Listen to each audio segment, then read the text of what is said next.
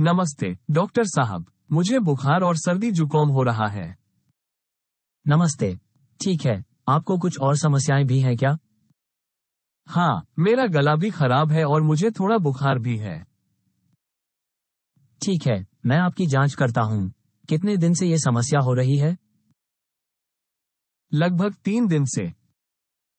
आपको सर्दी और जुकाम हो रहा है शरीर के दर्द हैं और बुखार भी है।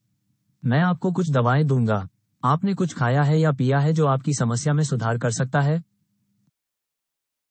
नहीं मैं तो बस गर्म पानी और नींबू शहद पी रहा हूँ। ठीक है वो सही है।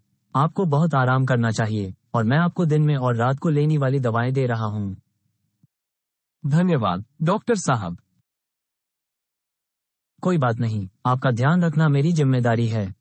अगर आपकी स्थिति में सुधार नहीं होता है तो तुरंत मुझसे मिलें। ठीक है डॉक्टर साहब मैं सतर्क रहूँगा।